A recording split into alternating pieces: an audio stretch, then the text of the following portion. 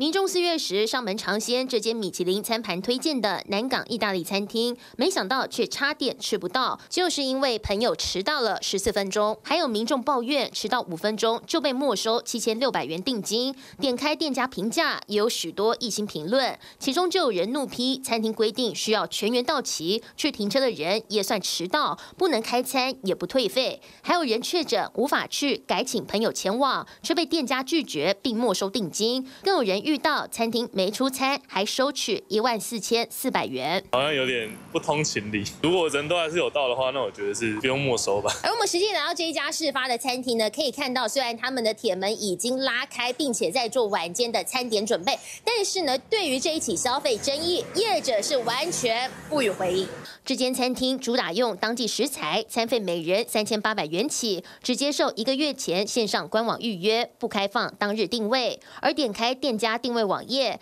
可以看到上面明明规定座位可保留十五分钟，但却有民众迟到五分钟就被取消位置。上面还写到需要全员到齐，如果有人迟到，就有权取消定位，收取费用每人三千八百元。在新兴的加持之下，有越来越多的高级餐厅有所谓的定位的潜规则。消费者在迟到之后就应该要没收全部的餐费，这个有可能是对消费者呃来讲是显示公平，并且。呃，违反了平等互惠原则，可以跟市政府这边来提出消费争议的申诉。消保官表示，目前定型化契约规范是建议参考性质，餐厅还是该保留弹性，才能避免纠纷频传，影响到店家名声和生意。TV 的新闻新闻想刘轩台北怎么报道？